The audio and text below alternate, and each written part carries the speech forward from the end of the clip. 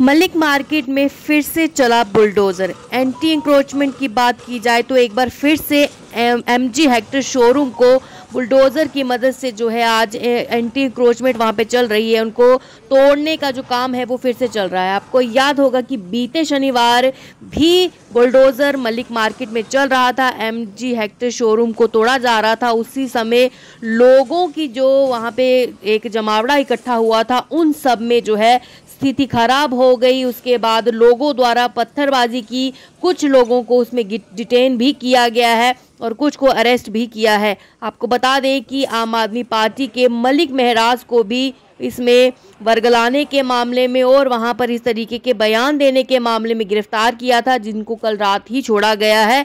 आपको बता दूँ, आज सुबह से फिर से एनक्रोचमेंट ड्राइव शुरू हो चुकी है और मलिक मार्केट में एमजी हेक्टर शोरूम को जो है वो आज फिर से गिराया जा रहा है।